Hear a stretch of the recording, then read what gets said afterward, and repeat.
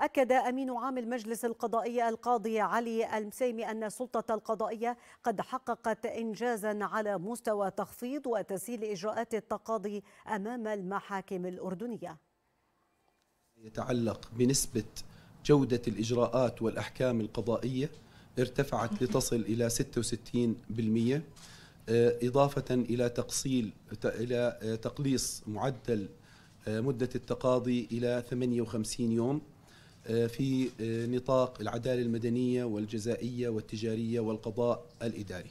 بلغ وارد المحاكم كافة من الدعاوى والطعون خلال هذا العام العام 2023 ما مجموعه 421457 دعوة بنسبة انخفاض عن العام الماضي 2022 ب 9% فصلت المحاكم كافة أيضا من من الدعاوى والطعون التي وردت إليها خلال العام ما مجموعه 430564 دعوة.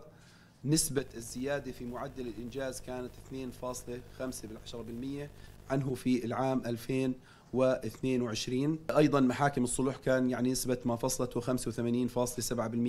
من مجموع فصل المحاكم. بنتيجة العمل من خلال ما ورد إلى كافة المحاكم وما تم فصله كان المدور لدى كافة المحاكم من الدعاوى والطعون خلال العام 2023 ما مجموعه 75453 دعوة.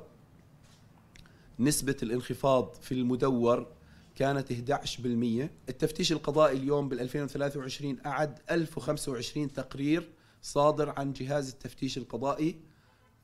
تقارير طبعا الأداء تقارير عن القضاء تم تنفيذ 250 زيارة تفتيشية للمحاكم ودوائر الادعاء العام نفذت من قبل جهاز التفتيش القضائي.